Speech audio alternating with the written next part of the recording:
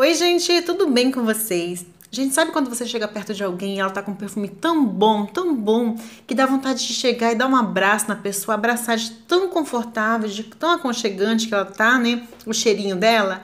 Bom, gente, no vídeo de hoje eu vou falar para vocês de alguns perfumes da minha coleção que me remetem a isso a conforto, a cheirinho de roupa limpa, cheiro de abraço.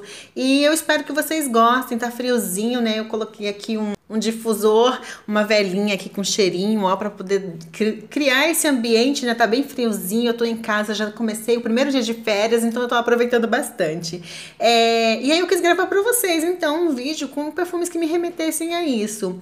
É, gente, eu já quero que vocês deixem para mim o perfume de vocês da coleção, que também passam essa sensação, que quando vocês passam, vocês se sentem assim abraçadas, ou quando você sente em alguém, você tem vontade de abraçar quem tá usando, tá bom? Bom, eu vou começar então com esse perfume aqui, que ele vai entrar em vários vídeos. Ele é um perfume que tem cheiro de mulher rica. A maioria aqui, gente, tem cheiro de riqueza, de limpeza, mas também me remetem a conforto. Eu vou começar com Chloé.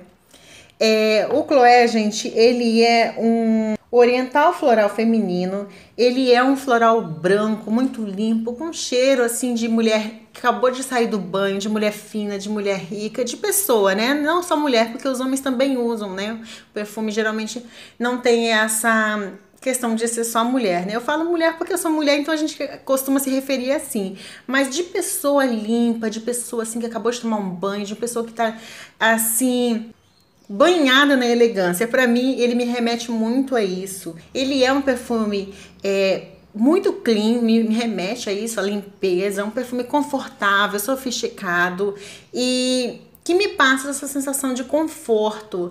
É, mesmo eu estando em casa, se eu passar, sabe? Parece que eu vou passar assim, se eu deitar a minha cama, eu me imagino numa cama de 1.800 fios, nos edredons bem fofinho, travesseiro bem fofinho. Quando eu passo e deito, assim, fico assistindo televisão usando ele, ele me remete a isso.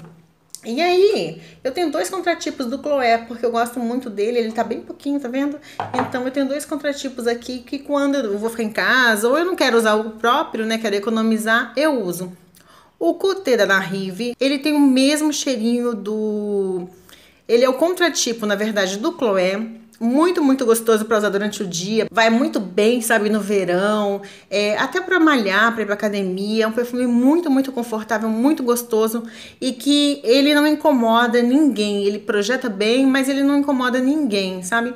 E a gente tem também o Make Me Fever Gold da Mahogany, que também é contratipo do Chloé. E eu sempre gosto de trazer, né, gente, pra gente ter outras opções mais baratinhas. Quando eu posso dizer aqui uma opção mais barata e eu tenho pra dar, pra dar dica pra vocês, eu sempre trago. Então são dois contratipos aqui. A diferença de um e o outro, porque eu acho, né, já falei, mas eu vou falar de novo. O Coté, eu acho ele muito mais aberto, mais alegre. O Make Me Fever, eu acho ele um pouco mais fechado, a saída muito verde, mas os dois são contratipos do Chloé, tá? Então fica como opção aqui baratinha para vocês. Deixa eu tirar aqui da frente. Foi. O próximo lá atrás é o Glow da Jennifer Lopez, que também é um perfume, gente, que é, me remete muito à mulher sofisticada, a conforto. E ele tem uma fixação, uma projeção na minha pele maravilhosa, muito, muito, assim, o desempenho é muito bom. E a gente às vezes tem um pouquinho de preconceito, né? Por ser um perfume de celebridade, a gente acha, né, que não vai fixar e projetar tanto. Esse aqui na minha pele, ele fixa e projeta muito bem. É o tipo de perfume que, se você passar muito, você pode sufocar. E eu falo isso porque eu já usei ele, já teve ocasião de passar e acabar sufocando as pessoas que estavam perto de mim. O Glow, ele é um floral. Então, ele, ele é um perfume, como eu falei, chique, clean, elegante, ideal para usar no verão também. Que vai a dica para vocês, um cheirinho confortável, esse aqui, ele deixa muito confortável. É, lá atrás, gente, como né, eu já falei, eu gosto de colocar assim, nacional e importado e dar a dica para vocês, né? Uma opção mais baratinha. Eu sei que nem todo mundo pode estar tá comprando importado. Então vamos lá para o nacional aqui, ó, que é o Acordes Harmonia. Esse aqui é do Boticário. Ele é um perfume maravilhoso. Eu amo esse perfume. É, ouvi rumores que ele seria descontinuado, mas ao que tudo, ao que parece, não. Não vai ser descontinuado. Ele é um chipre floral e ele tem notas que eu amo, né? De Lang Lang. Quem me conhece sabe que eu gosto muito do Lang Lang. Tem sândalo, né? Que o sândalo sempre dá esse toquezinho de conforto. Tem música de carvalho, tem fava tonka, então ele é um pouquinho é mais adocicadinho. Ele não é doce, não é melado, não é doce, gente. Ele tem uma, uma certa doçura. Eu acho que de todos aqui, ele é o mais docinho de todos, mas não é nada é, que vá assim chamar atenção pela doçura, mas ele tem um, um leve adocicado e depois ele fica muito, muito aconchegante. Esse é um perfume que eu gosto de usar mais durante o dia. Ele vai bem à noite, em noites de verão, assim, noite muito quente, mas eu acho que ele é mais ideal para o dia a dia. Então, se você quer um, um, um, cheirinho mais confortável, um pouquinho mais docinho, chegado pro doce, é esse aqui de todos dessa lista, tá, gente? Comparado a essa lista que eu tenho aqui, eu acho ele o mais docinho de todos. Bom, vou falar do nacional, então vou continuar aqui. Esse aqui, gente, muita gente torce o nariz. Eu sei que tem muita gente que ama e muita gente que detesta o Crisca tradicional. Mas para mim, gente, ele me remete muito, muito, muito a amaciante de roupa. Quando eu era criança, tinha um amaciante que tinha esse cheirinho, mas eu não consigo me lembrar qual.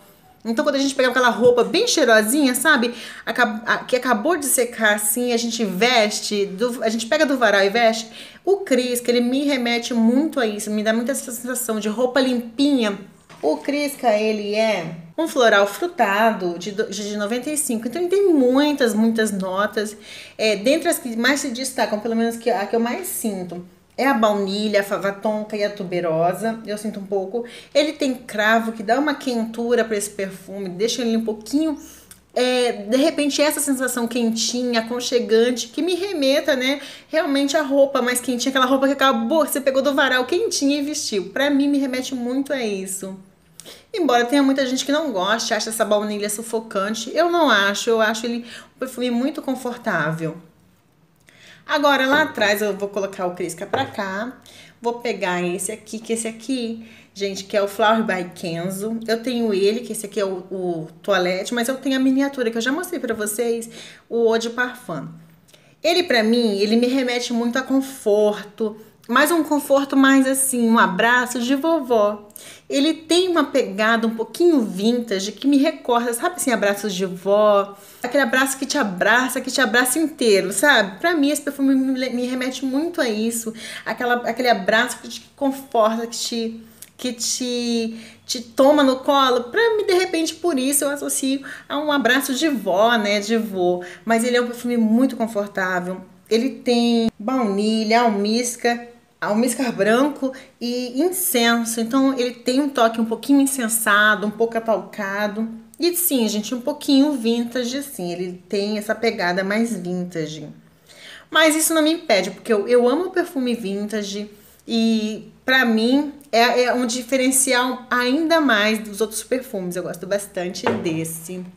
Deixa eu pegar aqui então o Mira da Cores. É, esse perfume, gente, ele já é um abraço mais jovial. É como se fosse um abraço de amigo. Não te abraça tanto como o, o Flower by Kenzo, mas é um abraço mesmo mais jovem, eu acho, mais é, descolado, mas mesmo assim um abraço. Então ele tem notas de gengibre, de rosa branca, de almíscar. Ele é um floral aquático. Eu gosto dele para usar muito assim em academia, é, quando eu vou fazer alguma atividade mais mais esportiva, né? E mais diurna também. Eu gosto de usar ele mais durante o dia. E agora faltou qual ah, o Tommy Girl. Esse aqui também, gente, vai na mesma linha do Mira. Ele, para mim, também, ele me remete a um abraço, assim, de, de, colega, de jovem, sabe? Mais jovial, mas que não deixa de ser aconchegante. Ele é, de todo, gente, eu acho que ele é o mais verde, assim, o mais, o menos, a, a menos adocicado. Eu acho que ele e o Make Me Fever Gold é, são os, os que menos são doces, menos adocicados. Nenhum são doces, mas os menos adocicados dessa seleção que eu fiz. Ele, tem, ele é um floral frutado, ele tem cassis e tem algumas notas aqui que, que justificam né, essa saída mais verde, essa performance mais verde. Ele tem lírio, tem violeta, tem hortelã, tem toranja, limão e rosa, mas ele não é, ele não chega a ser um perfume cítrico no estilo light blue, não. Ele tem uma certa cremosidade, porque ele tem o sândalo, tem jasmim, tem flor de macieira, então dá uma equilibrada. Ele não é um perfume totalmente cítrico e muito confortável. Bom, gente, são esses os meus perfumes. Fala aí pra mim se vocês concordam, se não concordam, qual desses vocês têm, se vocês acham que parece, que te remetem a isso. E se não, qual que vocês têm na coleção de vocês que remetem a isso, tá bom? Abraço, aconchego. Bom, gente, eu espero que vocês tenham gostado do vídeo. Um beijo, até o próximo vídeo.